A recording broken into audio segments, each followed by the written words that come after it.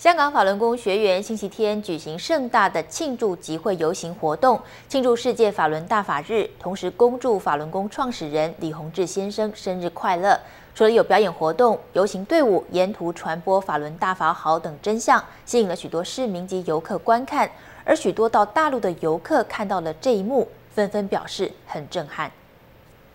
数百名香港法轮功学员一早聚集在九龙长沙湾游乐场，展开世界法轮大法日的庆祝活动。庆祝活动在整齐祥和的令宫中揭开序幕，接着有喜气洋洋的腰鼓队和特地前来助兴的台湾天国乐团表演。五月十三日也是法轮大法创始人李洪志先生的生日。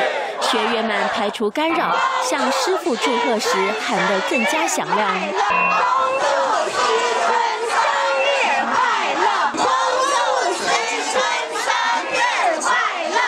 许多学员因为修炼法轮大法后，身心受益无穷，无论老少都欢欣鼓舞。一对学练不足两年的母女分享他们得法的喜悦。两个月，我之前的那些。腰疼那些病啊，失眠呐，各种病都一扫而光，就不知不觉的就好了。就觉得呃，我那就不会太像以前那么调皮喽。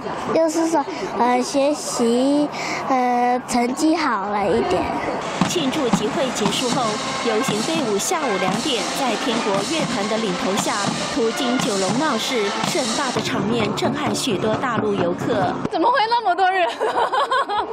啊，对啊，对，第一次看到，因为大陆的话一般是不允许这样子的嘛。我觉得香港还是比较开放，很很轰动的感觉。